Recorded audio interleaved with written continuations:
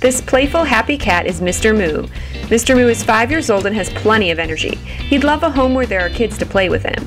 He's not at all shy and gives plenty of kisses to show his affection.